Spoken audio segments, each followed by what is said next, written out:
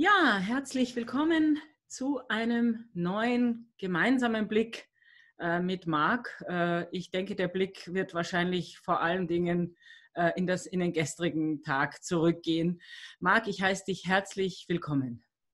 Hallo liebe Katharine. Ja, ich bedanke mich, dass ich wieder Gast in der Show sein darf, sagen wir es mal so. Und äh, ja, jetzt freue ich mich auf das, was wir äh, mal auseinandernehmen.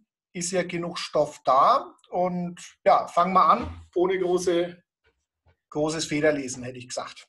Ja, ich war ja gestern in eurer Live-Sendung auch kurz drinnen und es ist bezeichnend, das ist wie bei der Wahlnacht. Äh, da war in der Zeit, wo ich dann online war, ausgerechnet, äh, ist da dieses Attentat in Wien da passiert und gestern ist es ja auch rund gegangen ne, von ja relativ beschaulich beim Einstieg bis hin zu äh, komplett äh, äh, crescendo äh, zu dem Moment, wo ich dann schon raus bin. Äh, ja, also und es ist ja, wir können noch nicht weit zurückblicken. Das heißt also, wir haben jetzt keinen Anspruch darauf, dass wir sagen, wir können das alles schon deuten, weil dafür ist es einfach viel zu kurz und vieles wird sich erst in der geschichtlichen Rückschau äh, wirklich zeigen. Ne? Also das, wir können auch nicht in eine Glaskugel schauen. Alles, was wir machen können, ist die Informationen, die wir haben, zusammentragen mit dem, was wir bereits an Informationen haben, das verbunden mit in unserer Intuition und dann noch irgendwie logisches Denken. Und äh, ansonsten ist natürlich ein großer Teil auch Spekulation. Ja. Äh, ja, wie hast du denn, äh, willst du kurz äh, äh, darauf eingehen, wie du das gestern oder sollen wir gleich in die Thematik gehen? Also, wie du willst. Ich gebe da gerne mal einen kurzen Rückblick. Also äh, für die Leute, die gestern das Ganze mit live verfolgt haben, ähm, also wir waren ja von 16 Uhr an bis, ich glaube, wann bin ich raus? Äh, irgendwann halb, halb eins waren wir ja online immer mal wieder mit Unterbrechungen, wo ich dann auch Pause gemacht habe. Aber was sich oder wie sich der Spannungsbogen eben aufgebaut hat, äh, dass wir rein sind, äh, wie diese Reden vor dem Weißen Haus stattgefunden haben, wo also wirklich sehr, aus meiner Sicht, sehr gute und motivierende Ansprachen gehalten worden sind, auch die von Trumps Sohn, äh, wo ich sage, solche Reden sind mir in Deutschland oder zumindest in unserem deutschsprachigen Raum die letzten Jahrzehnte fast nicht mehr untergekommen. Ich kann mich noch erinnern, da oute ich mich jetzt etwas, äh, wie der Stoiber immer seine Reden in, ähm, in Passau gehalten hat, hatten die eine gewisse Dynamik und auch ein gewisses Feuer.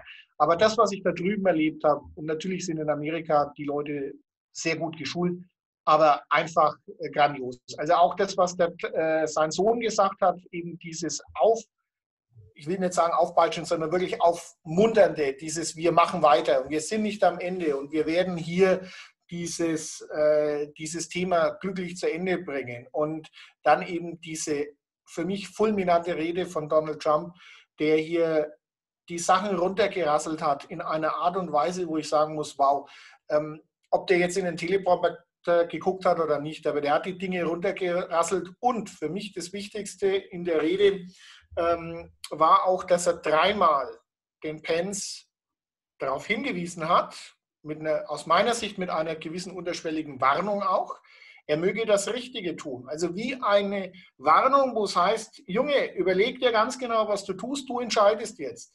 Und äh, dann hat man das ja auch gesehen, letztendlich, was passiert ist. Ähm, dann gab es ja dieses Statement äh, vom Pence, was er ja vor der Sitzung äh, schriftlich rausgegeben hat, diesen Brief, der ging ja auch durch die sozialen Medien durch.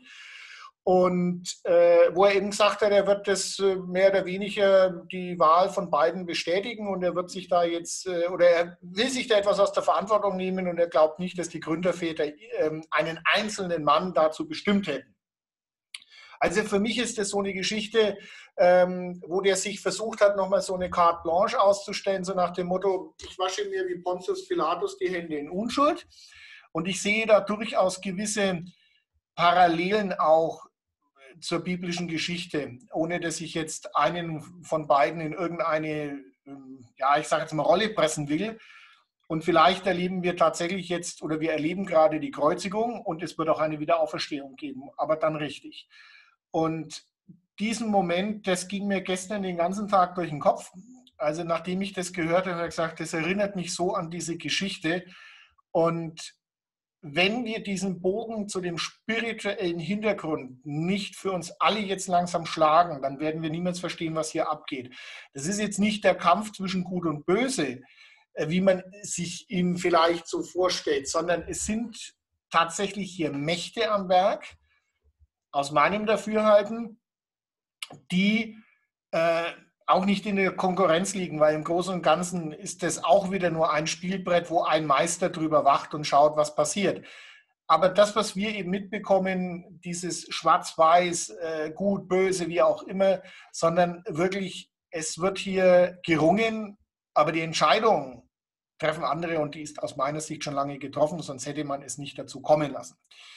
Und das war zumindest für mich so der Eindruck. Natürlich hat mich das dann auch mitgenommen, wo, äh, wo das Ganze dann in diesen Sturm, äh, jetzt hätte ich fast gesagt, des Reichstages, aber das war die Blaupause dafür, weil genau dasselbe ist bei uns passiert, äh, fünf Monate vorher. Ich denke, man hat das hier geprobt. Mich würde es nicht wundern, wenn die Akteure dahinter, und das sind dann wieder Aufgaben für Rechercheure wie den Feiko oder vielleicht auch für den Janich, ähm, die hierher gegangen sind und ähm, eben dieses, dieses Gestagte, dieser, dieser Run in das, äh, in das Kongressgebäude, was ja ein Gebäude tatsächlich des Volkes ist.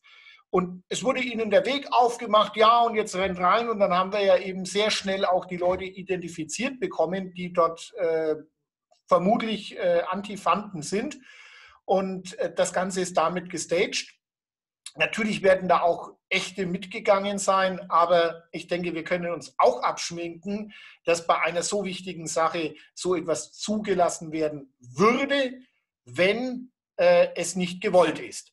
Weil eines können wir sicher sein, selbst wenn da eine Million Leute ist, äh, die kommen nicht einfach auf eine Idee und fangen an, jetzt hier ihr Gebäude äh, zu stürmen, sondern tatsächlich, man hat es zugelassen, man hat es orchestriert. Die, ähm, ich sage jetzt mal so, die Abstimmenden konnten verschwinden für kurze Zeit. Wir wissen natürlich nicht, was in den Tunneln passiert ist, äh, was eventuell auch auf dieser Militärbasis äh, in der Kürze der Zeit passiert ist, wo nochmal Absprachen getroffen worden sind. Sicherlich haben die nochmal eine Zeit gebraucht, off-camera oder off-screen, wie es so schön heißt.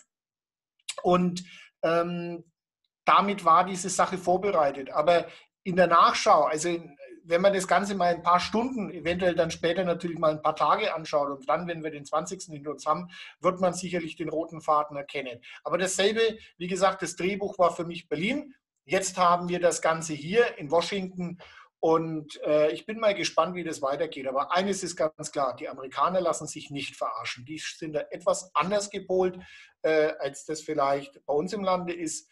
Und ähm, ja, wie man das immer so schön sagt, schaut euch die Sache mal aus den Augen eines Farmers im Mittleren Westen an, der vielleicht nicht weiß, was hinter dem Ozean ist und der auch äh, Deutschland von England und der Schweiz nicht unterscheiden kann und weiß nur, dass Russland ganz weit im Osten und böse ist. Aber der sieht ganz einfach, dass er verarscht worden ist. Und das mögen die nicht. Die sind da etwas klarer strukturiert. Und das ist die Masse der Leute, die hier sich verarscht, also wirklich verarscht worden sind von, von oben bis unten. Und die, die da oben sitzen, brauchen trotz alledem im Moment noch, zumindest äh, nach dem, was wir wissen, brauchen die das Volk noch. Weil die machen ja ihre Arbeiten und schließlich, und das ist auch wieder ganz wichtig, um das kommerziell zu wissen, wir sind die Gläubiger dieser ganzen Leute. Das heißt, die leben von unserer Energie, nicht umgekehrt. So, und jetzt gebe ich mal Ruhe. Äh, Marc, das hast du aber wirklich wunderbar. Du hast einen wunderbaren Bogen gespannt. Ich wollte dich auch überhaupt nicht unterbrechen in diesem wunderbaren Bogen. Äh, ich, äh, das einzige, die einzige Verbesserung, die ich noch anzumerken hätte, wäre, statt zu sagen noch, weil du hattest das Wort, das Volk ist noch, oder wie war das? Ähm, und das noch würde ich streichen. Das ist alles. Ansonsten unterschreibe ich alles, was du gesagt hast. Nein, noch jetzt nur insofern, weil wir brauchen keine Angst haben, denke ich, dass das Volk weniger Macht haben wird, sondern das Ganze, was hier passiert, äh, dient ja dazu, dass die Macht dem Volk wieder zurückgegeben wird. Und deswegen Symbolik ist alles und äh, Spiritualität, also die, die Symbolik, sowohl die geschichtliche als auch die spirituelle. Und wir haben es hier mit Zitaten zu tun. Du hast das alles äh, wunderbar aufgedröselt. Ich habe dem auch wirklich fast nichts hinzuzufügen. Zu fügen. Wir erleben eine Steigerung. Ne? In Berlin war es noch so, sie, haben, äh, äh, sie sind draußen geblieben, sie sind nicht rein. Oben steht wirklich dem deutschen Volke. Es gehört dem deutschen Volk, aber das hat sich nicht reingetraut. Äh, hier war es anders. Wir Wir wissen, dass es teilweise natürlich friedliche Patrioten waren, die sich nichts gedacht haben dabei. Und auf der anderen Seite wissen wir von den Gesichtserkennungsvideos, äh, äh, von den Videos und der Gesichtserkennung, dass es wirklich Antifa-Leute waren, dass die auch per Bus herangekarrt wurden. Das ist alles beweisbar. Was wir nicht wissen, ist, ob die junge Frau, es heißt, eine 16-Jährige ist in den Hals geschossen worden, man hat sie gesehen bluten, das heißt, sie ist verstorben. Wir wissen nicht, was da tatsächlich dahinter steckt. Äh, äh, da, dazu können wir, denke ich, nichts sagen äh, an, zu dem Zeitpunkt. Und äh, äh, keine Frage, dass jedes Opfer eines zu viel ist. Das ist keine Frage. Äh, das ist hier, ähm, du hast schon gesagt, ne, Pence hat hier, hier die Rolle des Judas und wir wissen ja, er musste Jesus verraten, denn sonst würde die ganze Geschichte sich nicht so entfaltet haben. Er wurde ja aufgefordert, oder äh, diese dreimalige Aufforderung, ne, äh, du sagst, Trump hat ihn dreimal aufgefordert. Natürlich sind die Rollen ein bisschen vertauscht. Ne? Der eine hat ein bisschen was von Pontius Pilatus, ich wasche meine Hände in Unschuld. Der andere bekommt die dreimalige Aufforderung, also und äh, am Ende, gut, wir werden sehen, ob er sich am Ende auch äh, erhängt, ne, der, der Pence.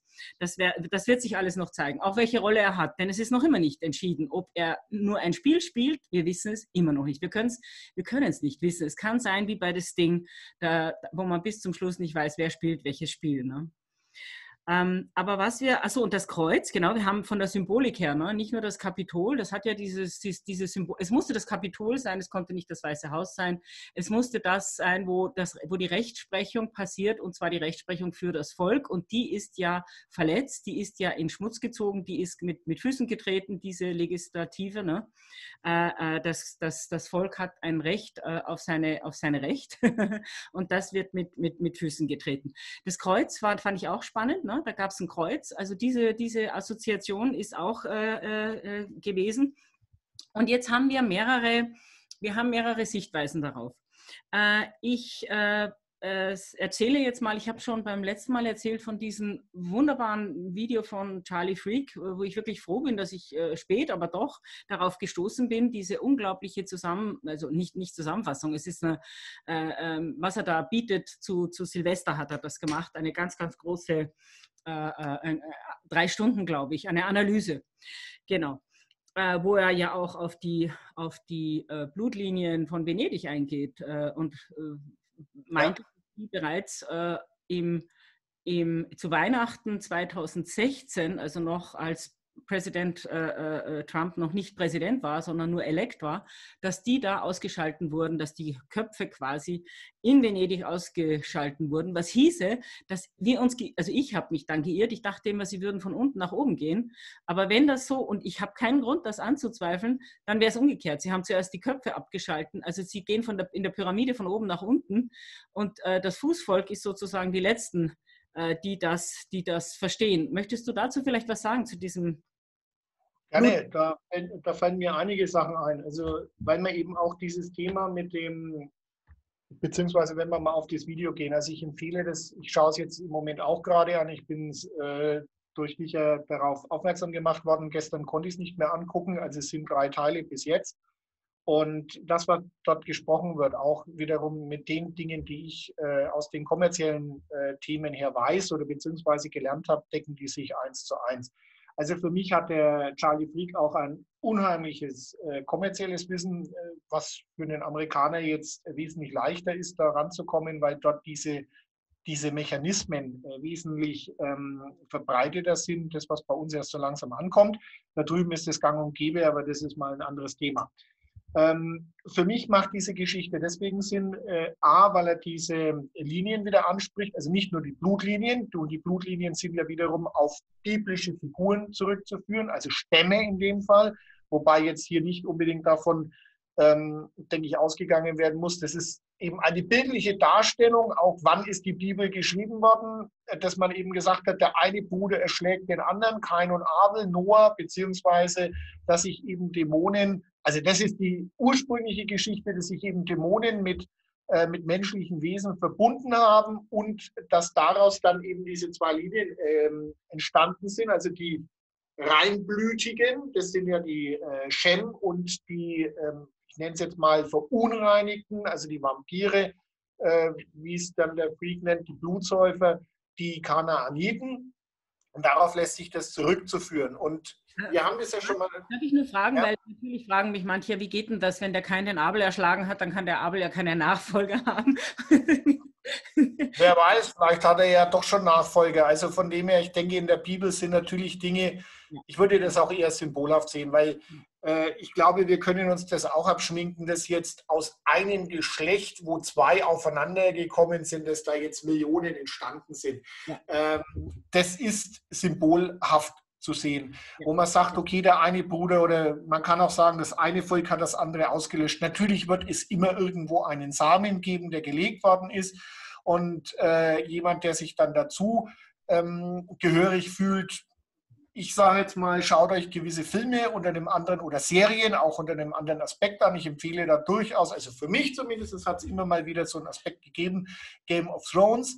Wenn man jetzt mal die ganze Popkultur draußen lässt, aber hier zeigt sich ja ganz klipp und klar, du hast immer wieder ein Königshaus, du hast verschiedene Herrschaftsgebiete, du hast gewisse Throne und am Schluss geht es darum, das wieder zu vereinen. Es gibt eine Gefahr aus dem, in dem Fall war es auch aus dem Osten mit den Drachen auch sehr symbolisch und eben den Bastard, der als einziger übrig geblieben ist und sich herausstellt, dass er aber der wahre Erbe ist.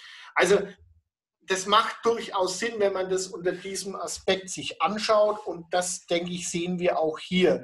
Diese ganzen Hollywood-Schreiberlinge ähm, und die Leute, die uns diese Geschichten präsentieren, die, die wirklich erfolgreich sind aus meiner Sicht, müssen ein gewisses Verständnis haben und nehmen sich, ob das jetzt Bibelgeschichten sind, ob das irgendwelche Märchen sind, die alle irgendwo auf denselben Kern zurückzuführen sind. Aber das hast du ja schon äh, beim letzten Video gesagt, eben wo du sagtest, der Krimi-Autor, der erfolgreiche Krimi-Autor nimmt sich das Ende her und dann spinnt eine Geschichte rundherum. Und dann kommen wir auch wieder zu dem Thema, ähm, was ist denn hier passiert in Venedig? Also ich war nicht dabei, deswegen kann ich äh, auch nur sagen, was wir gehört haben, was wir gesehen haben, äh, dass eben hier diese 13 Häuser, sprich diese Familien, diese Blutlinien endgültig ausgelöscht worden sind. Das kann ich mir durchaus vorstellen. Äh, das wird auch niemals groß in den Medien breitgetreten oder dass man sagt, da hat es jetzt eine Familie Medici erwischt. Was wir in den letzten Jahren immer wieder gesehen haben, dass Flugzeugabstürze waren, dass Hubschrauber abgestürzt sind, dass plötzlich irgendwelche Adelsfamilien ja Verluste hatten, wie auch immer. Ähm, die wirklichen Köpfe kennen wir nicht, werden wir nicht sehen. Der, der, kann an uns vorbeilaufen, wir würden den nie erkennen. Vielleicht ist es ein netter Kerl nach außen hin, ja. Ähm, sondern die tauchen auch nicht auf, die stehen auch nicht in der Forbes-Liste drin. Das ist auch kein Rockefeller und das ist auch kein Rothschild. Das sind alles nur Marionetten, Eingesetzte, die eine gewisse sagen wir, Position haben, aber letztendlich steht irgendjemand über ihnen. Und dasselbe ist ja auch bei diesen Familien. Auch hier stehen dann nochmal Wesenheiten über ihnen, ähm, die vielleicht nicht von unserer Welt sind, auch nicht in unserer Dimension sind, aber woher sie ihre, ich nenne mal, ihre Energie herbekommen, wo sie ihr ein gewisses Wissen herbekommen und die hier die Akteure sind. Und ich denke, man kann da wirklich gewisse Filme, Horrorfilme zur Rate ziehen, weil genau dort wird es beschrieben, wie es ist. Vielleicht nicht genau so oder vielleicht schlimmer, wir wissen es nicht. Auch die Heidrun hat es ja in ihrem Buch so beschrieben, dieses Märchen. Wir sollten uns an diese Gedankenwelten mal gewöhnen, dass das tatsächlich so ist. Und das, was wir da draußen erleben, oder wo wir da auch vorhin schon mal kurz drüber gesprochen haben, dass es natürlich die Leute gibt und sagen, öh, warum akzeptieren die Amerikaner das nicht?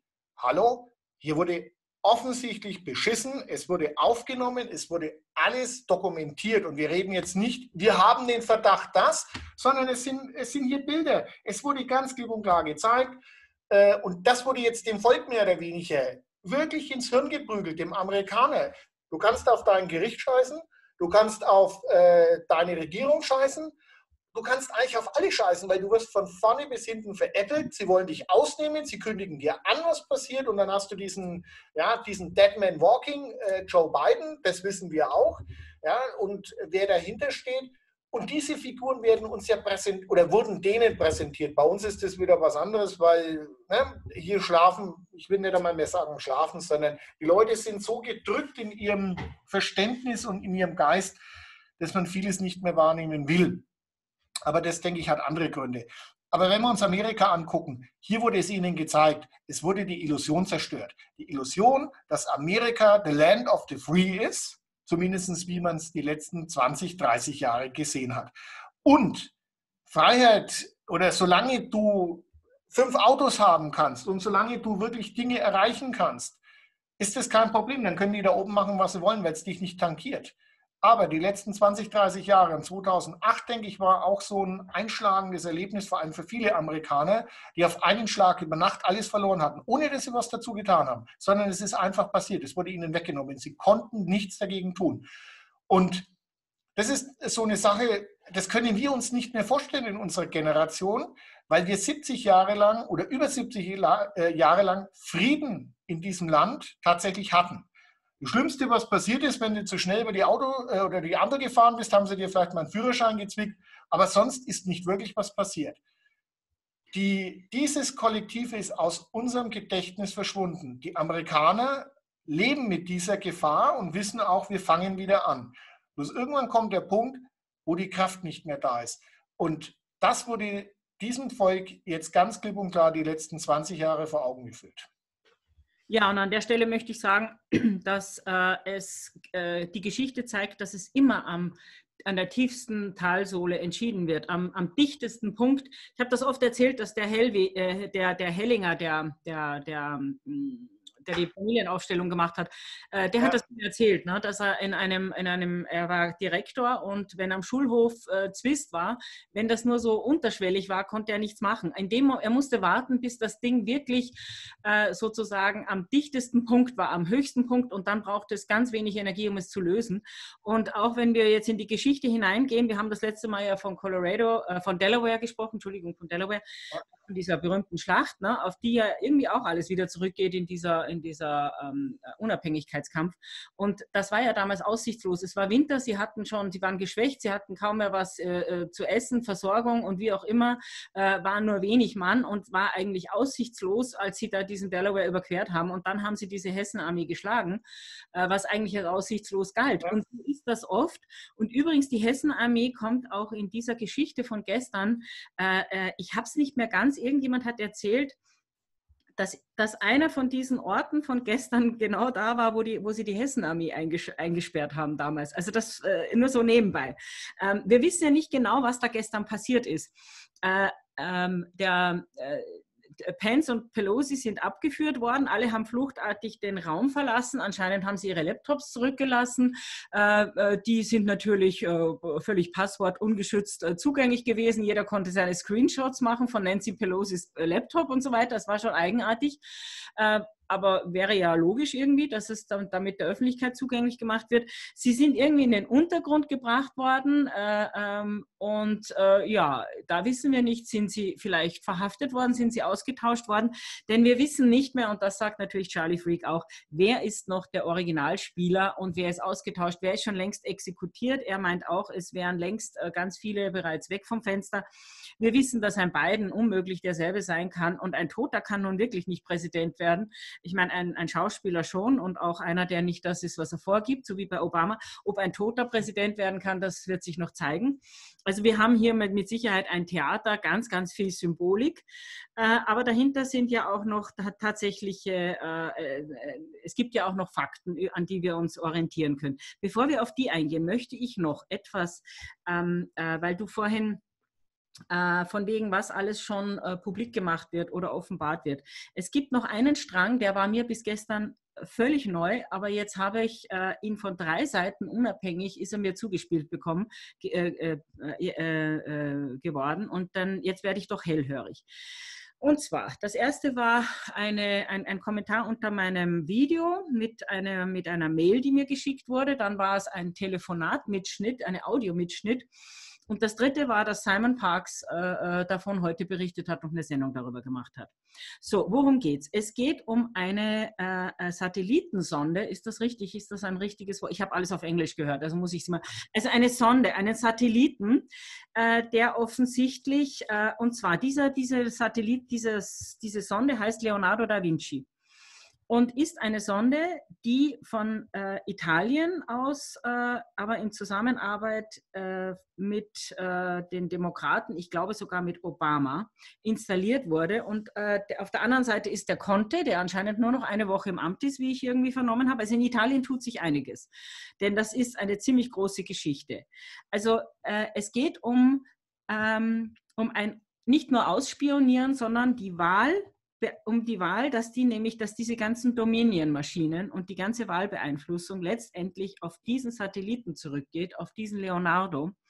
Und in dieser Leonardo-Gruppe gab es jetzt einen Whistleblower. Und da ist ein Mitschnitt von einem Telefonat, äh, das mir zugespielt wurde. Äh, da spricht eine äh, ähm, mit ja, offensichtlich hochkarätigen, äh, es geht darum, äh, wie sie dem, also es geht darum, dass sie Beweise hat und zwar äh, von A bis Z, also vollkommen ausgearbeitete Beweise, die lupenrein sind. Äh, und die, sie hat bereits mit Jim Jordan, mit, mit, mit, mit äh, äh Meadows und äh, äh, also auch mit, mit, mit, ähm, na, mit Rudi, Rudi Giuliani und so weiter. Also sie ist bereits an der Quelle.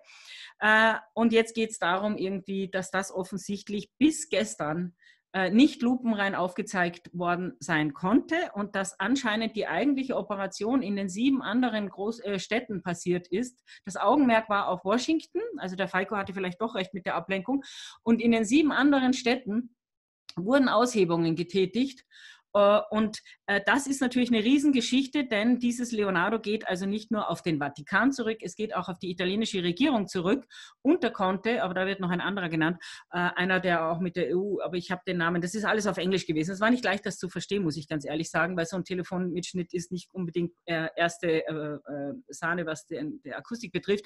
Aber es geht darum, dass das ein NATO-Partner ist. Das heißt also, das ist schon ein Riesenskandal und äh, das soll jetzt, äh, äh, ja, also das ist erst seit gestern irgendwie die Informationen, das läuft noch undercover sozusagen, aber Simon Parks hat darüber ein Video gemacht, hat gesagt, das ist auch ein Grund, warum das gestern nicht über die Bühne gehen konnte, denn diese Information musste noch eingeholt werden. Äh, ich nehme an, dass du jetzt dazu wahrscheinlich wenig sagen kannst oder kannst du doch was dazu sagen? Ja, ein paar Gedanken habe ich schon dazu. Also das mit, der, mit diesen, ich habe jetzt gerade mal geguckt, aber ich finde jetzt über die, ähm, diesen Satellit oder diese Drohne oder was auch immer, finde ich jetzt nichts. Ich habe aber schon mal gehört, dass es da irgendwas gibt. Ähm, das haben wir mal hinten angestellt, sondern A, kann man natürlich jetzt auch nochmal über die Figur Leonardo da Vinci ähm, sich Gedanken machen, ähm, führt uns immer wieder nach Italien, ist die eine Geschichte. Warum Italien? Rom und Venedig. Da haben wir das mit den Blutlinien. Das heißt, da kommt auch vieles her und wie man jetzt natürlich auch immer wieder gehört hat, gibt es dort eben diese P2-Freimaurerloge, jetzt aufgelöst anscheinend P3.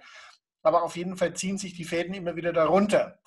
Und ähm, auch New York, Giuliani wissen wir auch, die Mafia-Verbindungen und so weiter. Auch im Zweiten Weltkrieg war ja die Befreiung Italiens, ähm, gelang ja nur deswegen so gut und äh, also für die Alliierten so gut, weil eben die Hilfe der italienischen Mafia äh, gewonnen werden konnte. Das ist jetzt nur ein kurzer, äh, sage ich jetzt mal, Seitenschwenk.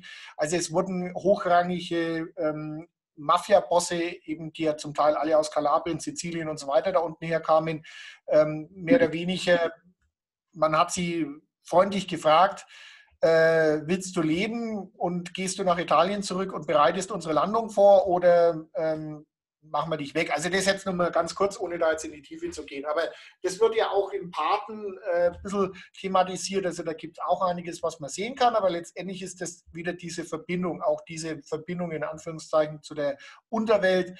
Äh, ja, gut, La Familia, wie auch immer. Also Italien, eine Geschichte. Die zweite Geschichte, ähm, ich glaube, das war sogar ich, äh, der eben gesagt hat, äh, welche Show läuft denn hier ab? Welche Bank wird Ihnen jetzt ausgeraubt in dem Moment? Weil wo man das in Washington gesehen hat, plötzlich geht hier dieses Gate auf und die stürmen da alle und dann denke ich mir, okay, dann gab es eine Bombendrohung in, dem, äh, in diesem Building ähm, nebendran. Da hast du nichts mehr davon gehört. Alle Augen waren weltweit auf Washington DC gerichtet. Das heißt, das wäre für mich jetzt der perfekte Zeitpunkt gewesen, wo ich gewisse Dinge auseinandernehmen würde. Also sprich, ich schaffe eine Riesenablenkung und greife irgendwo anders zu, ähnlich wie das in Frankfurt war, ja, was wir also nur, nur als Einwand, ähnlich wie bei 9-11, wo sie die ganze, äh, bei dem Pentagon alles verschwinden haben lassen, die, die Dokumente über die verschwundenen Gelder. Da waren ja wurde platt gemacht. Keiner hat darauf geguckt. Das Pentagon wurde auch angegriffen. Ja, klar, da fliegen die Terroristen rein. Nein, es war die Buchhaltung äh, oder die Buchhaltungsabteilung, wo den Tag vorher der Rumsfeld äh, ja bekennen musste, ja, es fehlt ein wenig Geld. Und jetzt nicht nur die Portokasse ist verschwunden, sondern wir reden von richtig Geld. Und das ist eben dadurch äh, vertuscht worden. Also ist immer die Frage, was ist denn wirklich passiert und wo ist das Feuerwerk entstanden? Da sind wir wieder bei den Magiern auf der Bühne, die irgendwo einen Tamtam -Tam machen und äh, irgendwo hinten dran läuft ein ganz anderer Film ab. Und das, denke ich, haben wir gestern auch gesehen. Also wir haben es live miterlebt. Klar, wir sind gefesselt und so, oh ja, da geht's los. Also fällt mir auch ein, du darfst übrigens ein zweites Bild malen, das ist dir schon klar. Ne? Das darfst du dann dem amerikanischen Volk widmen, was ich sehr gut finden würde, als Ergänzung zu dem Sturm auf den Reichstag. Aber wenn man das eben sieht, hier ist was passiert, wir können es noch gar nicht wirklich äh, festmachen. Wir wissen jetzt auch nicht wirklich, ist jetzt Trump schon in Texas, wo sitzt der Mann und äh, was läuft jetzt? Aber es läuft eine Menge, davon können wir ausgehen. Das Spiel ist noch nicht vorbei. Und das wissen auch die Jungs, äh, die hier in der Kabale sitzen. Die wissen auch, dass ihr, dass es immer enger wird. Sie sind erwischt worden. Sie sind nicht nur mit den Fingern in der Keksdose erwischt worden, sondern man hat sie, äh, man hat die Mehlspuren auf dem Boden, man hat die Beweise, die Fotos, die können sich nicht mehr rausreden. Das heißt, das, was jetzt von deren Seite folgen kann, ist nur noch Druck, Lug, es wird ihnen keiner mehr glauben. Wir sind im Zeitalter des Internets, es geht nichts verloren. Es weiß die ganze Welt. Und das hat Auswirkungen. Also das heißt, Amerika, so wie wir es kannten, ist Geschichte. Das ist jetzt meine Einstellung, genauso wie keiner mehr in Deutschland sagen kann, oh, Parteien sind aber toll, weil die SPD hat das gewollt, die, die Schwarzen wollten das. Das Thema ist durch. Wer es jetzt noch nicht begriffen hat, ich weiß, da laufen noch genug draußen rum, dass wir nur noch Korruption, Verbrecher und Leute, die sich Scheißdreck um die normalen Menschen drum kümmern, äh, wer das jetzt noch nicht begriffen hat, der kann auch mit dem Kopf gegen die Wand rennen und es kann das Blut runterlaufen und er wird sich immer noch freuen, dass der Schmerz nachlässt. Anders kann ich das nicht ausdrücken. Das ist einfach so. Und diese Thematik sollte jedem vor Augen kommen und um jetzt wieder auf den, wie gesagt, auf den Leonardo zurückzukommen, weil ich habe jetzt da, denke ich, sehr weit aufgeholt. Ähm, natürlich fehlen hier noch Informationen. Natürlich, die werden ihre Geheimnisse oder ihre letzten Dinge, die sie brauchen für diese Inauguration und so weiter, die werden erst in den letzten Minuten rausgeholt. Das ist dasselbe, wenn ich sage, okay, Beispiel Queen. Queen äh, muss mit den richtigen Kronjuwelen auftauchen, dann wird die nicht mit den Kronjuwelen durch die Innenstadt von London laufen, sondern die wird die erst dann aufsetzen, kurz bevor sie auf den Thron geht. Und dann schlage ich zu. Und das, denke ich, sollten wir uns immer vor Augen halten. Wir nähern uns jetzt wirklich einem Crescendo von unglaublicher Größe. Aber die alte Welt ist definitiv vorbei. Also egal was passieren wird, alles, was wir immer glaubten, was mal gewesen ist, das Thema ist durch. Also für mich zumindest. Marc, da bin ich so bei dir. Das habe ich auch gedacht. Äh, nicht nur die BRD ist durch, sondern auch Amerika, du sagst es, dass Amerika, wie, es, wie, wie, wie man geglaubt hat, dass es ist. Es war ja nur eine Illusion, es war ja eine Firma und die ist durch. Und was mir noch einfällt zu dieser Sonde, äh, weil ich, äh, mal manche könnten ja sagen, ja, mein Gott, der Franziskus, der hat doch schon längst die Macht abgegeben und äh, äh, das ist sowieso noch viel, viel, vielschichtiger. Also ich glaube auch, dass der Franziskus eine, eine, eine, äh, noch die Frage ist, welcher Spieler das überhaupt ist, weil vielleicht ist er sogar eingesetzt worden von den Whiteheads, vielleicht ist er nur eine Pappfigur, das weiß ich alles nicht, aber, weil es ist irgendwie ein bisschen fraglich. Aber dass er nicht mehr in der Macht ist, das ist offensichtlich. Wir reden also hier, glaube ich, nicht davon, dass die Spitze der Pyramide hier etwas gemacht hat, und da fällt mir ein, zu dieser Sonde, Leonardo, fällt mir natürlich ein, weil wir wissen, dass Dan Brown ein ziemlicher Insider ist. Und ich habe schon gedacht, ich schaue mir jetzt den Da Vinci Code wieder mal an, weil den habe ich damals nicht verstanden. Äh, das interessiert mich. Und da gibt es doch auch diesen anderen, äh, wie heißt der jetzt wieder, der äh, mit dem Vatikan, wo sich herausstellt, dass. Und ähm, das Symbol, äh, die Illuminaten, so Illuminati heißt er. Echt? Das ist der zweite, ja. Also in der Buchreihenfolge ist Illuminati vor dem Da Vinci Code, verfilmt wurden sie äh, entgegengesetzt. Okay, ich weiß nur, dass es ihm darum geht, dass ein äh, gar nicht so hochgestellter im Vatikan oder ja, zweitgestellter, zweitrangiger, ähm, äh, äh, dass es da auch um so eine, um, um so ein Ei geht, um, um, um so eine Sonde, ne? Äh, äh, das heißt also, das ist ja interessant, dass das in den Filmen dann oft präsentiert wird. Ne? Also was ich damit sagen will, es muss, wenn man sagt, es geht vom Vatikan aus, dann kann es ja von den Hintermännern vom Vatikan ausgehen, es muss nicht vom Papst ausgehen. So meine ich jetzt. Ne? Wir wissen nicht, wer jetzt da dahinter steckt. Aber offensichtlich hat sich die italienische Regierung zusammen, der Conte zusammengetan mit dem Vatikan. Mehr wissen wir nicht. Aber kommen wir auf The Resurrection Act, weil ich denke, das ist wichtig. Ne? Das ist ein ja ein Act, der heißt ja eigentlich Aufstandsgesetz. Ne? So wäre, also es ist ein Act, der äh, äh zu, in Kraft tritt, wenn es um Aufstände geht. Wir haben ja diese, diese Devise, dass das amerikanische Militär nicht im Inland eingesetzt werden darf. Und soweit ich weiß, hat das dann Obama mit ähm, äh, Katrina aufgelöst.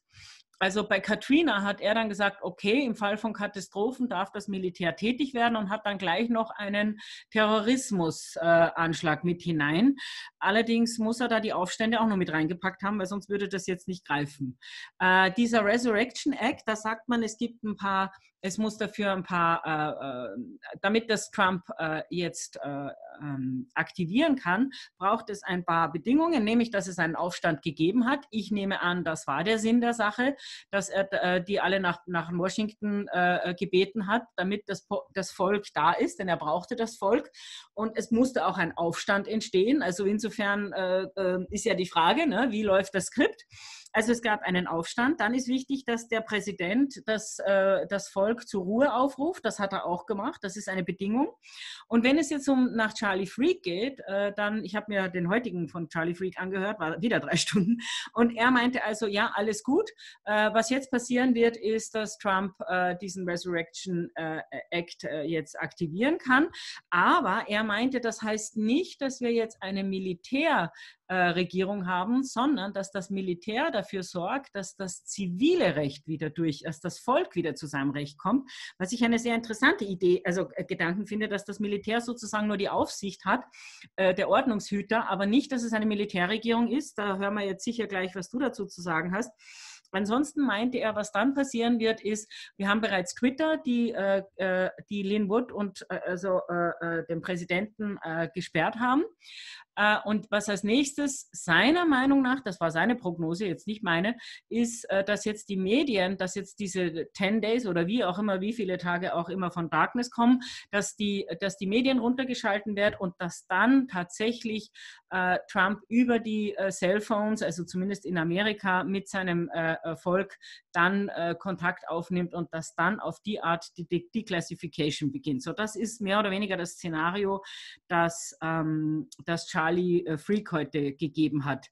Ähm, ja, also zum, zu dem, ich gebe jetzt einfach das Wort an dich zu dem Ganzen. Es ist ja ein ziemlicher Wust. Ja, also jetzt fangen wir nochmal von vorne an. Der Insurrection Act, also das heißt äh, auf Deutsch das Ausstandsgesetz, ist von 1807. Und es gibt dem US-Präsidenten ausnahmsweise äh, die Vollmacht, die Nationalgarde und Heeresgruppen oder Marineverbände, äh, und also Luftwaffe gab es damals noch nicht, äh, zur Bekämpfung von Aufständen einzusetzen. Um das mal das war, die, das war die Bedingung, damit den Südstaaten überhaupt der Krieg erklärt werden konnte, ne? Ja, näher nicht unbedingt, weil die Südstaaten äh, haben ja eines gegangen, die sind aus der Union rausgegangen und damit waren sie rechtlich nicht mehr inländisch, sondern sie waren dann letztendlich eine fremde Macht. Und da ist es wieder was anderes.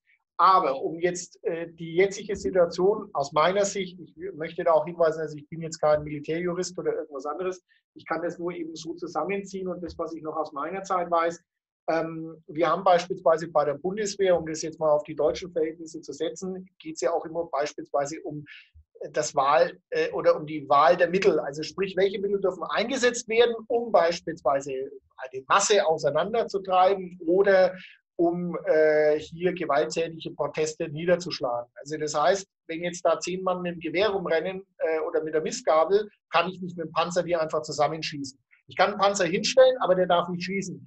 Das ist, äh, das mal irgendwie bildhaft zu machen. Verhältnismäßigkeit der Mittel. Richtig, ja. Wenn jetzt natürlich hier eine Volksmenge da wäre, darf ich, äh, das darf auch die Polizei logischerweise, darf ich ähm, Tränengas einsetzen, also sprich in dem Sinn chemische Waffen, ist auch wieder so eine Sache, aber ISO wird eingesetzt, Pfefferspray, ich kann äh, Schusswaffen, das ist dann die letzte Ultima Ratio, das heißt, ich darf Schusswaffen gezielt einsetzen. Da würden jetzt Maschinengewehre schon wieder rausfallen, weil Maschinengewehre ähm, wäre eine Sache, wo ich einfach nicht mehr gezielt schieße, sondern nur noch in die Masse. Das heißt, also ich muss gucken, dass ich die Rädelsführer rausnehme. Das ist normalerweise der Gedanke dahinter, dass ich also hier nicht irgendwo ähm, Kollateralschaden, und jetzt sind wir wieder bei dem äh, Handelsrecht letztendlich entstehen lasse, sondern äh, dass ich das in irgendwelchen Mitteln halte. So, Gewisse Sachen kann aber nur das Militär, wobei man natürlich auch gesehen hat, dass die Polizei in den letzten Jahren ja extrem hochgerüstet worden ist. Also auch was man jetzt äh, auf den Bildern gestern gesehen hat, die schwarzen Jungs. Da muss ja. ich einwenden, dass man nicht vergessen darf, dass die Polizei gestern ja unter der, ähm, äh, äh das ist Gouverneur von Washington, das ist eine Sie, glaube ich, ne, eine Frau. Ja, das ist eine Demokratin. Also äh, dementsprechend war das, die Polizei hat ja überhaupt nicht irgendwen aufgehalten und waren äußerst äh, parteiisch. Das nur so nebenbei, genau. Also kommen wir, denke ich, noch drauf. Also auf jeden Fall das, was man gesehen hat. Man hat Schwarzuniformierte gesehen. Das ist im Normalfall äh, Polizei bzw. Special Weapons and Tactics. Da steht dann hinten SWAT drauf. Äh, das sind also wie bei uns die ähm, SEK-Einheiten, also Sondereinsatzkommandos. Das sind die Jungs, die dann für spezielle äh, Situationen, Schwerverbrecher und so weiter speziell ausgerüstet sind. Das ist in Amerika gang und gäbe, genauso wie dann das FBI auch da war. Die Nationalgarde ist was anderes. Das sind die Jungs, die dann normalerweise auch mit Tarnuniformen durch die Gegend rennen und äh, hier mit diesen gepanzerten Fahrzeugen eingerückt sind. Also die sind unterschiedlich aufgestellt, bloß dass man das mal versteht. Nicht, wenn jemand da mit einer M4, mit einem Sturmgewehr durch die Kamera rennt, ist das gleich Militär, sondern das sind tatsächlich spezielle Einsatzkräfte, die spezielle Ausrüstung haben. in Amerika ist die Ausrüstung einfach eine andere. Bei uns bei der Polizei hat sich das auch schon geändert. So, aber nur um das mal auseinanderzuhalten. Bei uns wäre es noch einfacher zu identifizieren, wieder auf Deutschland. Äh, die Bundeswehr hat verpflichtend auch immer Flecktarn, ähm, das sind die grün-braun-schwarzen Anzüge. Polizei zum Teil hier in Bayern sind es äh, die schwarzen, das ist die Bereitschaftspolizei. Die normale Polizei hat blau im Moment. Und dann gibt es noch eventuell irgendwelche olivgrünen Anzüge, das sind dann die SEK-Einheiten oder die tauchen zum Teil auch, wenn man das manchmal sieht in irgendwelchen Fotos, äh, mit Jeans oder mit kugelsicherer Weste auf. Aber das sind dann die speziellen Truppen. Also damit, um das mal auseinanderzuhalten und nur um das zu verstehen. So, und jetzt kommt eben der Punkt, dass diese Truppen eingesetzt werden an lokalen Punkten, das heißt nicht über das ganze Land, sondern da, wo sie gebraucht werden, gibt es eine spezielle Order, da haben die hinzugehen, dort haben die einen gewissen Befehl auszuführen, ein Gouverneur kann die anfordern er kann auch seine Nationalgarde in gewissen Fällen selber nutzen. Es ist die Miliz, also daraus kommen ja die Nationalgarden, aber auch nur beschränkt. Ähm, das wäre jetzt so ungefähr so, wie wenn der äh, Söder hier die Bundeswehr, wir haben hier keine Heimatschutzverbände, deswegen ist es schwierig, wenn der Söder jetzt sagen würde, wir holen jetzt hier irgendwelche Heimatschutzverbände, äh, um irgendeine äh, Situation aufzulösen. Oberbefehlshaber über alle militärischen Streitkräfte ist immer der Präsident der Vereinigten Staaten. Und der würde es sich nicht leicht machen, Dinge hier durchzusetzen, sondern äh, der wird sich das sehr genau überlegen, weil er natürlich auch in der Verantwortung ist. Und genau, ich denke, das, was zu dem ja. Präsidenten wollte ich nur einfügen, äh, dass wir äh, äh, es hier mit Spezialmächten zu tun haben, die unter Präsident Kennedy erstmalig eingesetzt wurden. Also du hattest mir das vorher erzählt, 1962 waren das die SEALs, ne? Das sind aber die SEALs. Zu den SEALs können wir kurz noch da kommen. Das ist eine andere Geschichte. Aber das, was jetzt rein im Inland ist. Ne? Und es heißt auch explizit die Marineverbände und das wären jetzt tatsächlich die Marines, weil die Marines sind die älteste Formation der US-Streitkräfte tatsächlich, weil das waren die Marinesoldaten, die immer auf den Schiffen dann irgendwo unterwegs waren. Und das ist eine andere Historie und die haben ja auch als vierte Teil Streitkraft in den Vereinigten Staaten eine besondere Geschichte, können wir aber irgendwann anders mal eingehen. Also das heißt, wenn die Jungs kommen, dann äh, ist richtig die Kacke am Dampfen. Aber das nur was anderes und außerdem sind sie überall dort verantwortlich, wo Wasser fließt, für alle, die ein bisschen äh, in das Kommerzielle reingehen. Und jetzt kommen wir noch einmal zu dem Thema Spezialeinsatzkräfte, ist wieder eine ganz andere Geschichte. Das, was du meintest mit, dem, äh, mit, dem, mit den Navy SEALs, die wurden 1962 am 1. Januar von Präsident Kennedy gegründet für spezielle Operationen die die normalen Heeresverbände nicht machen können. Also das ist die Geburtsstunde, zumindest in Amerika, äh, von sogenannten Kommandostreitkräften. Die Engländer hatten sie schon früher, die hatten sie schon im Zweiten Weltkrieg gegründet als SAS. Ähm, es gab dann natürlich auch solche Truppen wie die Rangers und andere Sachen. Auch in der deutschen Wehrmacht gab es solche Truppen. Skozzani hat da Leute aufgebaut, das war dann die Waffen-SS. Also das ist, hat seine Ursprünge im Zweiten Weltkrieg und davor. Übrigens, die ersten Marinetaucher kamen aus Italien. Das waren tatsächlich Spezialisten, die sind mit äh, Kleinst-U-Booten und bemannten Torpedos dann in britische äh, Häfen eingedrungen und haben dort ein wenig Unruhe gestiftet. Also das waren tatsächlich die allerersten. Marc, wenn jetzt der Charlie Freak gestern äh, ähm, äh, davon gesprochen hat, dass äh, es hier um den Einsatz von Spezialmächten geht, die unter Kennedy erst gegründet wurden. Und zwar, weil sowohl Robert, also da war ja der Justiz, Justizminister von Kennedy, dass sie beide erkannt haben, dass sie es mit einem neuen Feind zu tun haben, nämlich mit einem unsichtbaren Feind, äh, der also, äh, wie nennt man das so, ähm, ähm, im Untergrund halt äh, äh, äh, zuschlägt, dass sie den also mit ganz anderen äh, ähm, mit, mit, nicht mit einem normalen Heer jetzt äh, beikommen können, wie in einer normalen Kriegsführung. Äh, und da meint er, das wurde unter Kennedy gegründet, das hat sich aber sehr, sehr viel auf Computer, auf IT und so äh, spezialisiert. Äh, aber ich weiß nicht, von, welcher, von welchem Bataillon er da redet. Er meint auf jeden Fall, die kämen jetzt unter Trump äh, wieder zum Einsatz und da würde sich wieder der Kreis schließen. Aber ich weiß nicht, welcher er da meint. Also das, was er da sicherlich anspricht, natürlich sind in diesem Zuge nicht nur spezielle Einsatzkräfte, weil das natürlich auch was mit Ausrüstung, mit äh, Unterstellungen, mit Rekrutierung zu tun hat, sondern wir reden jetzt von 62, wo man äh, letztendlich, wo dieser, dieser unsichtbare Staat aber weltweit ja zum Teil das erste Mal wirklich sichtbar geworden ist. Und wir reden hier jetzt in einer Zeit, wo das Ende des äh, Zweiten Weltkrieges gerade mal, ich sage mal, 15, 20, äh, 15 Jahre zu, äh, zurückliegt, wo wir eine Sowjetunion hatten, die sehr aggressiv aufgetreten ist, wo wir weltweit äh, gerade eben gewisse Konflikte hatten, die sich aufgebaut haben, das heißt Vietnam. Und das, was hier, äh, wo man auf oder wo man hergegangen ist und hat gesagt, okay, was bauen wir hier auf? Wir haben weltweit den Kommunismus, der damals noch der große Feind war, der eben infiltriert ist in Gruppen. Das war schon immer eine Sache, die es also seit, ähm, wie soll man sagen, diese Revolutionäre auf gut Deutsch, die schon auch in Südamerika ja eingesickert sind, wo man gesagt hat, wir können da jetzt nicht irgendwelche Heeresverbände hinschicken, weil das bringt nichts. Also hat man spezielle Gruppen gebildet, äh, wie die SEALs, wie die Delta Force und andere Einheiten, äh, die dann zu verschiedenen Jahren gekommen sind, um irreguläre Kriegsführung durchführen zu können. Das Man ist der Film Das Kartell von Tom Clancy. Zum Beispiel auch. Also da sieht, da sieht man es ganz deutlich, wobei allerdings da ja wiederum Soldaten, Luftlandeeinheiten und so weiter rekrutiert worden sind. Ihnen ist die Marken abgenommen worden und man hat sie in schmutzige Kriege gesetzt.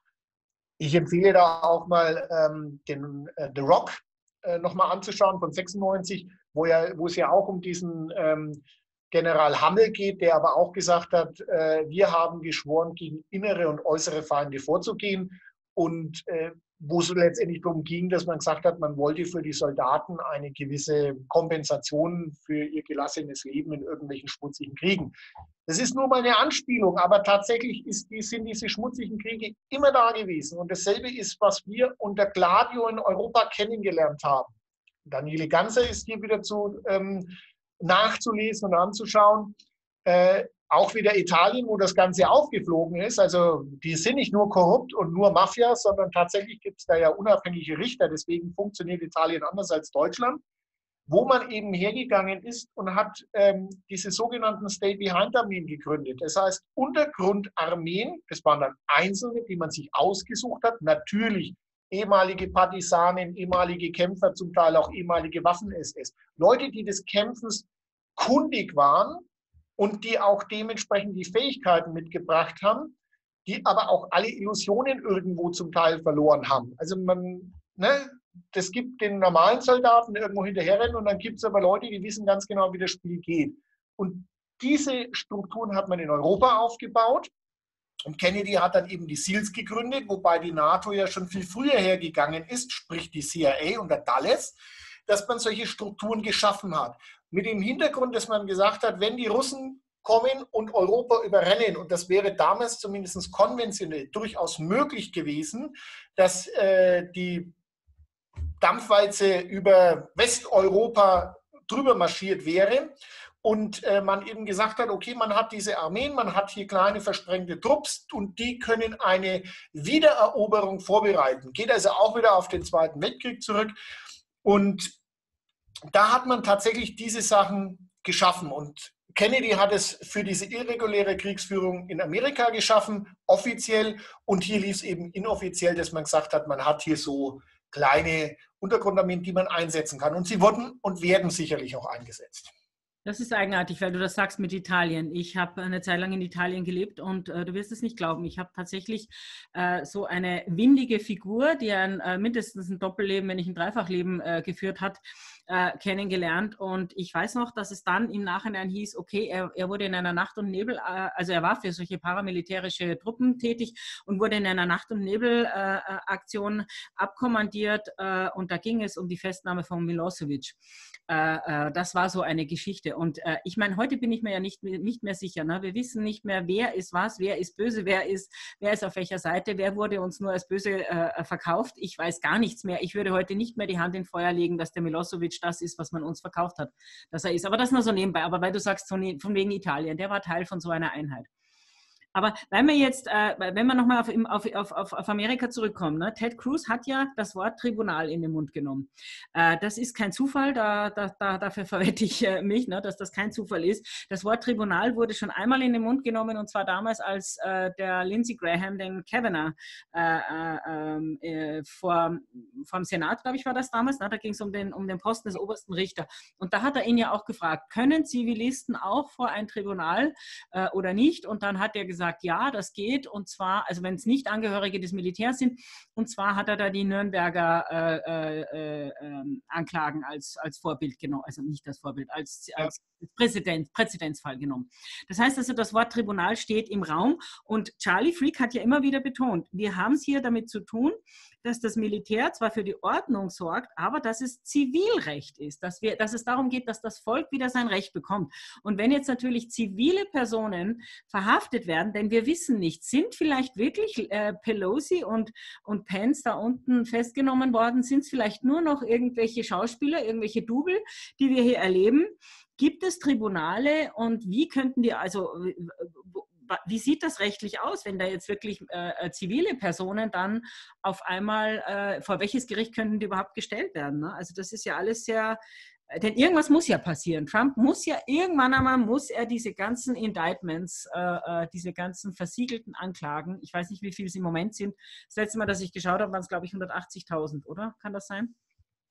Keine Ahnung, also da bin ich jetzt nicht so im Thema drin, wie viel es tatsächlich sind. Äh, was da drin steht, wissen wir logischerweise nicht. Mhm. Das, was ich mir aber vorstellen kann, und das eben, um, um auf Nürnberg zurückzukommen.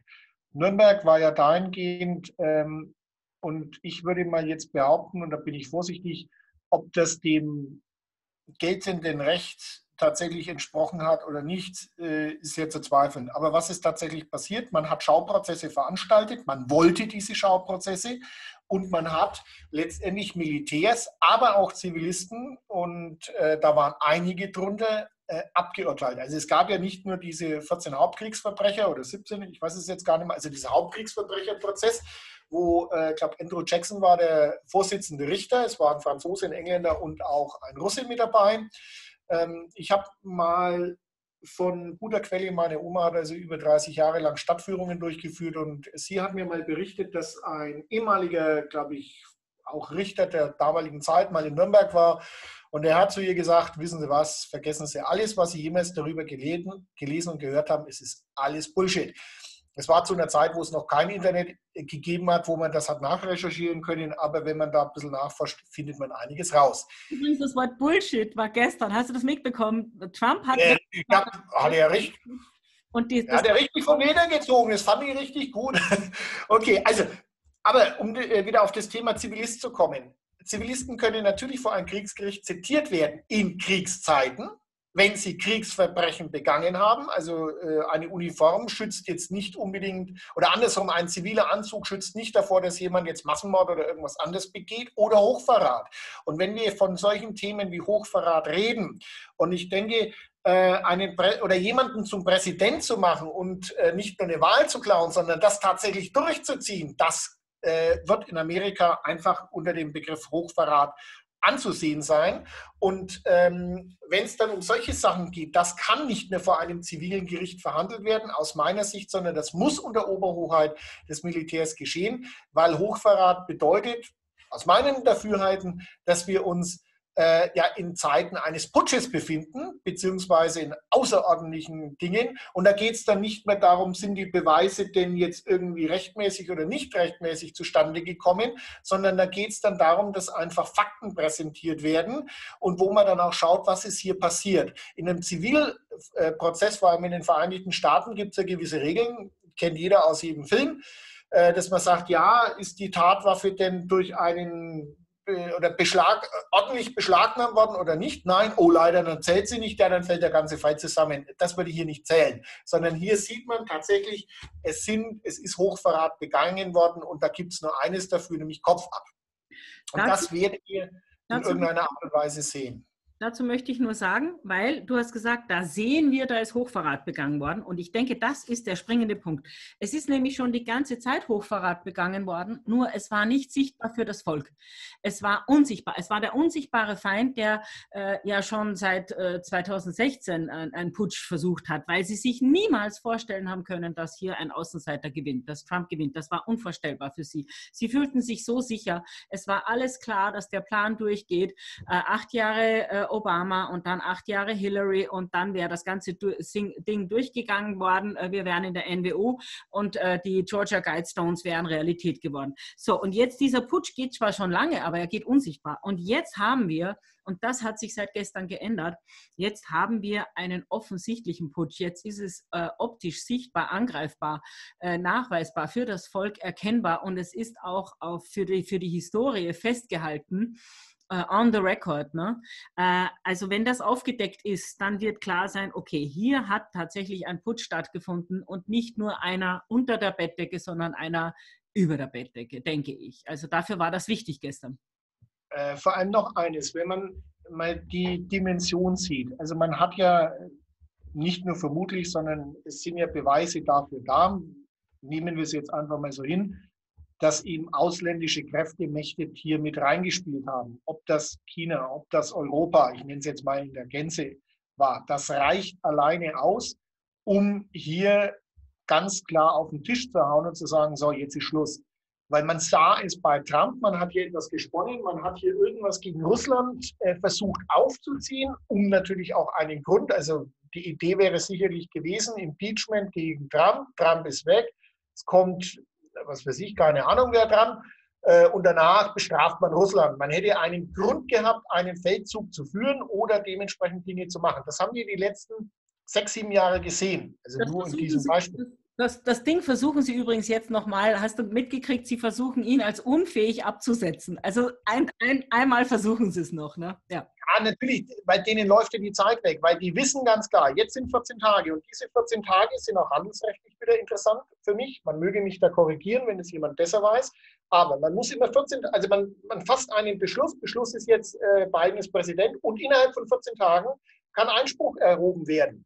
Sollte das nicht passieren, ja, dann gilt das als Gesetz, auch wenn da Beschiss wäre. Wenn jetzt aber jemand hier Einspruch erhebt, und das werden wir sicherlich in der Art und Weise erleben, dann wird es zu Verzögerungen kommen. So ist das Gesetz in den Vereinigten Staaten. Also es muss eine gewisse Frist gewahrt werden, bevor der Mann zum Präsident gemacht werden könnte. Weil sonst hätte man ihn ja gleich am 7. gesagt, so, Biden ist durch, hier, Bibel, schwören, gämmern. Das ist alles so aufgebaut nach diesen zivilgesetzlichen oder handelsrechtlichen Dingen. Also das hat nicht alles, nicht Admiralitätsrecht ist nur schlecht oder Handelsrecht ist nur schlecht. Das hat alles sein Für und Wider. Und es werden jetzt Dinge in Bewegung kommen, da bin ich absolut sicher. Deswegen versuchen die den jetzt auch rauszunehmen, dass die sagen, Trump weg, Pence hin, Pence hält die Füße stehen, passiert nichts. Der Trump kann noch unheimlich viel machen. Bis 11.59 Uhr am 20. Januar. Das wissen wir. Das ist anders als was man bei uns jetzt erzählt und der ist jetzt nicht mehr und sonst was. Nein, der kann hier noch keine Ahnung was äh, anstellen. Äh, und das wissen die. Und das ist dann rechtlich auch bindend. Und deswegen schwitzen die so. Wenn sie ihrem habhaft geworden wären, würden sie ihn am liebsten schon lange in Ketten gelegt haben. Aber der wird ihnen eine Nase drehen. Das wird nicht funktionieren. Und deswegen wird es jetzt sehr interessant die nächsten zwei Wochen. Dann lass uns doch mal, ähm, äh, damit wir das Ding jetzt auch in die Garage fahren, weil wir sind jetzt schon eine Stunde, aber ich finde es mega spannend. Also ich habe ja schon ein Szenario, habe ich ja schon gesagt. Das war nicht mein Szenario, sondern das ist das, was Charlie Freak sagt, von wegen hier jetzt äh, äh, Resurrection Act und äh, Militär und äh, äh, Shutdown und nur noch über Handykommunikation und dann die Class. So, das wäre das eine.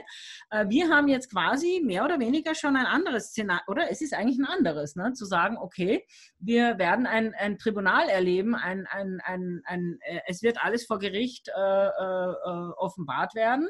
Ähm, hast du ein Szenario?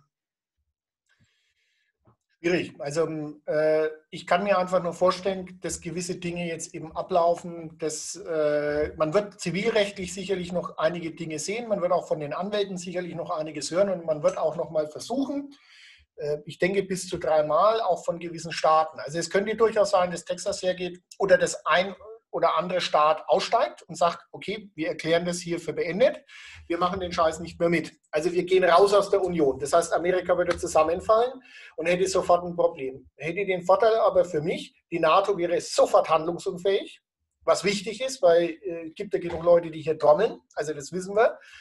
Äh, das wäre die eine Möglichkeit. Ähm, wenn man so die Börse beobachtet, ähm, also viel Veränderung habe ich gestern während der Zeit, wo also auch diese äh, Besprechungen im Kongress waren, nicht gesehen, dass jetzt da irgendwelche Abstürze waren oder sonst was. Das Gold ist schon mal runtergefallen. Aber äh, der Finanzsektor weiß auch noch nicht so hundertprozentig, wie es weitergeht. Also das weiß ich auch aus sehr verlässlicher Quelle. Die warten ab, bis das tatsächlich so ist, weil die nicht wissen, geht es links oder rechts. Und wir reden jetzt von der Hochfinanz. Das heißt, da wird es noch einige Szenarien geben, die wir erleben können. Wie gesagt, ein Szenario, die Vereinigten Staaten brechen auseinander. Ähm, damit wäre aus meiner Sicht auch das US-Militär zumindest für eine Zeit lang Schachmatt, was die sich nicht gefallen lassen werden, um das zu erhalten. Das ist die eine Möglichkeit. Ich könnte mir aber durchaus vorstellen, dass jetzt noch gewisse Dinge von Trump, äh, ja, ich sage jetzt immer, in Bewegung gesetzt werden, die wir vielleicht so gar nicht sehen. Was am 20. passiert, keine Ahnung, weil wir haben viel spekuliert. Ich kann es auch nicht ausmachen. Ich sehe jetzt immer nur, wenn was passiert ist, kann ich mir sagen, okay, da sehe ich einen Faden, da sehe ich einen Faden, da sehe ich einen Faden. Es wird spannend und es wird sicherlich auch noch sehr stark an die Nerven und an andere Dinge gehen. Das heißt, ähm, viel Kaffee trinken oder äh, keine Ahnung, Dinge, die einen beruhigen, dann ist vielleicht der Weinbrand besser. Ähm, hier bei uns ist es sowieso dann jetzt komplett alles dicht. Macht es euch zu Hause gemütlich, äh, beschäftigt euch mit Dingen, die irgendwo positiv sind. Ich weiß, dass das leichter gesagt ist als getan. Mir geht es genauso. Anfang Januar flattern die ganzen Rechnungen rein, Benzin ist teurer geworden und sonst was. Interessiert alles nicht. Sondern es gibt nur eine Möglichkeit, dass hier in Amerika aufgeräumt wird, weil sonst wären wir alle verratzt. Und das weltweit in irgendwelchen Art und Weise. Und das ist für mich keine Option. Also egal, wie es weitergeht, es wird sich zum Positiven wenden. Und das sollten wir uns immer wieder sagen. Und ob da jetzt Meditationen gemacht werden oder whatever, sondern bleibt bei euch. Sucht die Nähe zu Leuten, die da ähnlich ticken und schwingen, weil alles andere hat eh keinen Sinn und nicht versuchen, irgendjemand zu überzeugen, das Thema gar nicht ansprechen, die Zeit genießen. Das ist das Einzige, was ich jetzt auch tun werde. Äh, irgendwo sich auf die Dinge konzentrieren, die halt anliegen, den Alltag so gut wie möglich meistern und sich vom Rest fernhalten. Das ist, denke ich, das Beste, was man machen kann. Da bin ich ganz bei dir, Marc, weil wir dürfen nicht vergessen, dass es hier auch äh, um eine Energie geht. Und wenn alle Energien in den Keller gehen, weil sie sagen, oh, das ist aber gestern schiefgelaufen, äh, dann äh, schlägt das Pendel in eine Richtung aus. Und da hat jeder einen Anteil daran. Und da bin ich ganz bei dir. Man sollte dann überhaupt keine Mainstream-Media äh, lesen oder hören, weil dann wird man nur in den Keller gezogen. Äh, und es ist wichtig, dass wir die Energie halten. Und es gibt auch überhaupt keinen Grund. Äh, es hat sich immer, wie wir das schon begonnen haben, am untersten, am tiefsten Punkt hat sich immer entschieden. Aber eine Frage muss ich dir jetzt doch noch stellen, bevor wir jetzt rausgehen. Äh, wenn, also nicht wenn, sondern in dem, gehen wir davon aus, dass das mit dem Leonardo, mit der Sonde, mit dem, mit, mit der Beteiligung der italienischen Regierung und dem Vatikan, äh, also und somit auch einem, eines NATO-Mitglieds, äh, gehen wir davon aus, dass das alles so ist. Und ich habe irgendwie Informationen, dass in Italien seltsame Dinge laufen und die Regierung tatsächlich nächste Woche nicht mehr da ist. Wir werden sehen. Ich will nichts äh, behaupten, was nicht ist, aber äh, ich habe es von mehreren Quellen gehört. Sag mir mal nur, was würde das für Trump bedeuten? Was heißt das? Von wegen ein NATO-Mitglied äh, hat, sich, hat sich nicht nur in die Wahlen eingemischt, sondern hat versucht, die Wahlen zu, zu steuern. Was, was, was hat das für eine, für eine Konsequenz? Was kann er da machen? Also gehen wir mal davon aus, dass die NATO als Organisation, ähm, also wenn das jetzt nachvollziehbar wäre, wenn wir jetzt nur hergehen und sagen, äh, keine Ahnung, äh, Italien hätte sich reingemischt, dann wäre natürlich die Frage, wer in Italien? Ist die Regierung damit verantwortlich oder wie auch immer?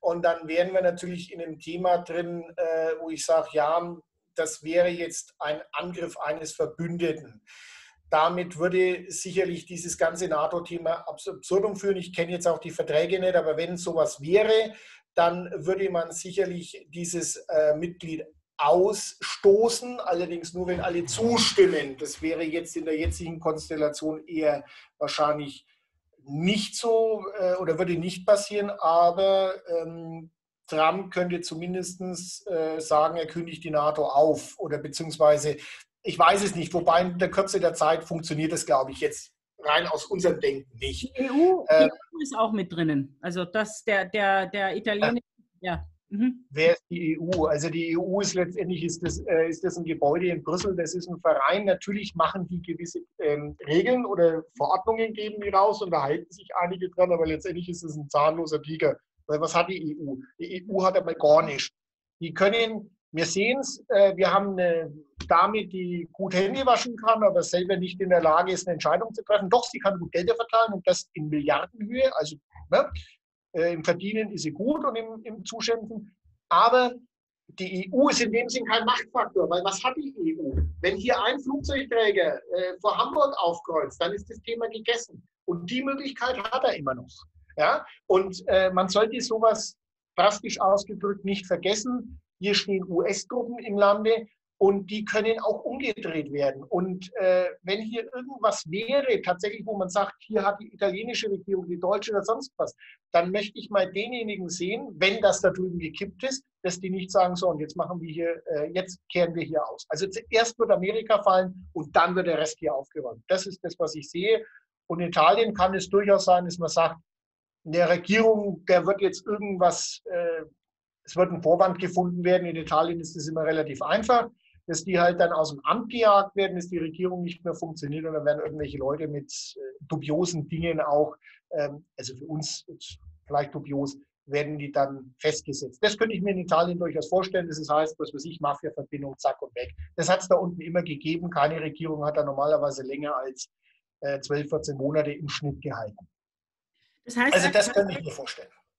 Ja, das heißt also, es kann gut sein, nachdem ja, äh, wenn wir irgendein Muster äh, feststellen, dann ist es das, dass sie immer wieder, äh, dass die, äh, äh, dass sie immer wieder den Feind in die eigenen Waffen, äh, in den eigenen, in die, in die eigene Waffe hineinlaufen lassen. In dem Fall, wenn wir von einem Putsch reden, dann kann es sein, dass dieser Putsch letztendlich dazu führt, dass alles kippt und zwar in die Gegenrichtung, dass sie ihr eigenes Modell sozusagen gegen sie dann verwendet wird. das, das wird ausgeschaffen. Und jeder arbeitet, es, die Leute arbeiten ja nicht zusammen. Man sollte ja auch immer nicht vergessen, das, das denke ich, das Gute in Anführungszeichen an den Bösen ist oder das, was wir durch Mafia-Filme immer sehen. Die beäugen sich alle sehr genau und keiner traut dem anderen, weil das ist deren äh, Agenda. Der, der Freak hat es auch gesagt, wer lügt, traut einem anderen nicht. Wir sind da anders. Wenn, wenn du mir was sagst, dann nehme ich das für, für bare Münze. Und wenn, wenn du mit einem Lügner zu tun hast, mit einem Psychopathen, du gehst nie davon aus, dass der die Wahrheit sagt, sondern der sagt dir, keine Ahnung, morgen scheint die Sonne und du wirst ihm nie trauen, sondern du sagst, ey, ich nehme doch einen Regenschirm mit. Weil der lügt hundertprozentig. Und das ist ihre Schwäche aus meiner Sicht, weil sie eben nicht im Vertrauen sind, weil sie auch nicht in irgendeiner Art und Weise angebunden sind. Und die müssen lügen, dafür sind sie da. Also belügen sie sich gegenseitig auch. Keiner traut dem anderen. Ne? äh, Feind, äh, Erzfeind, äh, Parteifreund. So geht doch das. Und genau so ist es aufgestellt. Keiner traut dem anderen. Wir sehen es jetzt gerade mit Spahn und sonst was. Die Alte häng, hängt sich ja auch wieder aus dem Fenster. Ey Leute, ruhig bleiben, einfach nicht für ernst nehmen, sondern das ist deren Geschichte und die zerlegen sich im Zweifelsfall selber. Darauf kann man Gift drauf nehmen. Aber wir müssen aufpassen, auf die, die danach kommen und das, was uns als Angebot gemacht wird. Und wie gesagt, immer überlegen, wenn dir was vorgelegt wird, was noch so verlockend ist, lieber erstmal Nein sagen. Ja? Weil im Moment werden sehr viele Bonbons verteilt, abwarten, es wird sich vieles in der nächsten Zeit erledigen und die sind mit sich selber beschäftigt. Sehr schön, Marc. Also äh, da haben wir jetzt eine schöne Runde gedreht und ich will Sie damit abschließen, dass ich sage, äh, äh, er hat ja nicht nur eines gesagt, der Charlie Freak, von wegen, äh, dass man den ja. trauen kann mit den Lügen. Er hat auch noch etwas gesagt, was ich sehr interessant finde, nämlich, dass Sie dazu tendieren, dass Sie sich immer nur auf die Vergangenheit beziehen. Also sprich, Sie haben das immer so gemacht. Seit Jahrtausenden von Jahren machen Sie dasselbe Prinzip und wenden es immer wieder an und das ist bis heute gut gegangen. Und Ihre Stärke ist nicht vorauszudenken, sondern Sie verlassen sich immer auf uralte Methoden, die sie immer genau gleich anwenden. Und das kann ich auch beobachten, dass sie immer wieder auf dasselbe Konzept. Es ist immer wieder, ne, immer wieder sind die Pässe, die dann irgendwo aufgefunden werden bei irgendeinem Attentat oder sonst was. Du wolltest was sagen? Reichstag, Kapitol. Ja. Man sieht es genau. Wenn genau. es jetzt zwei Jahre Unterschied wäre, würde man sagen, war doch schon mal irgendwas. Nein, wir haben es erst erlebt. Und das ist genau das, wo ich auch sage, äh, denen geht so der Arsch auf Grundlage, weil ihnen die Zeit ausgeht. Und das nicht nur, weil jetzt irgendwelche Fristen, irgendwelche Rechten ablaufen, sondern weil ihnen auch die Energie flöten geht. Und das ist das, was im, tatsächlich im Außen oder sagen wir so im weiteren spirituellen, in anderen Dimensionen aus meiner Sicht passiert, was wir noch nicht fassen können. Aber ich denke, wo viele irgendwo eine Ahnung haben, wo sie sagen, ähm, tief in meinem Inneren weiß ich, dass es gut wird weil sonst äh, wäre es anders. Ich auch mag. Und äh, wie du sagst, es gehen ihnen auch die Ideen, es geht ihnen die Energie aus, das Geld aus übrigens noch so nebenbei ist ja auch eine Energie. Und es gehen ihnen auch die Ideen aus, weil sie haben keine Kreativität und Inspiration ist dem Abelschen Teil, dem menschlichen Teil vorbehalten. Das ist nichts, äh, was diese Psychopathen, diese Vampire, äh, die haben keine Ideen, die haben keine Inspiration, die haben keine Kreativität. Ihnen gehen die Ideen aus, weil sie nie welche hatten, sondern sich immer nur auf dieselben Methoden äh, verlassen haben, die immer vorgekaut und vorgegeben waren. Jetzt gibt es niemanden mehr von oben, der irgendwelche Ansagen macht. Äh, äh, sie sind, deswegen ist das Ganze so chaotisch. Und umgekehrt ist es die große, große Stärke der Patrioten, äh, der, der, der inspirierten, göttlichen ähm, Menschlichkeit, dass sie Ideen haben und dass sie vorausdenken können und dass sie im Zweifelsfall auch sich flexibel sein können, was ja die anderen nicht sein können. Und da sind wir wieder bei dem, dass der Film rückwärts abgespult wird, was womit wir eigentlich begonnen haben, dass du das Ende schon planst. Jetzt fällt mir dazu noch was ein, das muss ich jetzt noch kurz loswerden. Und zwar äh, für viele, die vielleicht mal irgendwann Rambo 3 gesehen haben. Der wurde ja 87 gedreht als starker Propagandafilm, was ich aber durchaus gut fand in dem Film, wo wir das vorhin hatten, äh, warum schickt man nicht die Truppen? Einmal sagte einer von den Afghanen, ähm, warum soll der König, er wurde gebeten, äh, 500 Krieger in eine Schlacht zu schicken. Und dann äh, hat er nur fünf geschickt und die haben die Schlacht gewonnen. Und dann wurde er gefragt, Warum hast du nur die fünf geschickt? Du hast gesagt, es ist besser, fünf Löwen zu schicken als 500 Schafe. Das ist das Erste. Äh, und ähm, das, das erinnert mich auch irgendwo so an die Dinge. Wir sollten da tatsächlich ein bisschen äh, darauf Vertrauen haben, auch was Afghanistan angeht. Dort hat ein Volk, die absolut aus unserer Sicht ähm, hinter Mond leben, ja, haben es geschafft, über Jahrzehnte zwei der schrecklichsten Kriegsmaschinen der Welt Einmal die NATO, die Briten davor auch noch und noch einmal davor andere aus ihrem Land rauszuschmeißen, auch wenn es lange gedauert hat. Es hat sich niemand halten können. Und genau das sollten wir auch nehmen als Motivation, dass diese, diese Zecken, äh, diese schlechte Energie, die kann sich nicht halten, weil sie von sich aus nichts gebiert, sondern der Freiheitswille und der Wille, auch Opfer zu bringen, der wird diese immer besiegen, auf Ewigkeiten. Und das, denke ich, ist die gute Nachricht und die sollten wir auch festhalten. Und deswegen schließe ich von meiner Seite jetzt, was ist das? Das blaues Licht. Es leuchtet blau. so, okay, dann bin ich für heute mal durch. Schön, Marc, sehr schön. Und die fünf Löwen, die haben wir gesehen. Äh, war das ein Dance Covino-Post? Äh, irgendwie waren fünf äh, Löwen in der Nacht, die an einer Quelle getrunken haben. Das Bild wurde. Ja? Oder einer, einer hat getrunken oder irgendwas war da. Ja, ja, genau. Man hat also auf jeden Fall den Löwen gesehen. Ja. Genau, wunderschön. Also ja. für mich ist es auch keine Frage, wer gewinnt. Es ist nur so, wir haben alle einen Anteil daran. Wir können uns da nicht rauswinden. Und dementsprechend halten wir die Energie hoch, Vertrauen, Vertrauen auf den Plan, auf die göttliche Ordnung und auf uns selber äh, und auf das Gute und das, was in der Welt jetzt geboren wird oder sich durchsetzt. Wunderbar. Ich habe es sehr genossen, Marc. Dankeschön. Bis zum nächsten Mal. Bis zum nächsten Mal. Bis zum nächsten Mal. Und ich verabschiede mich von euch da draußen und ich finde den Knopf. Tschüss.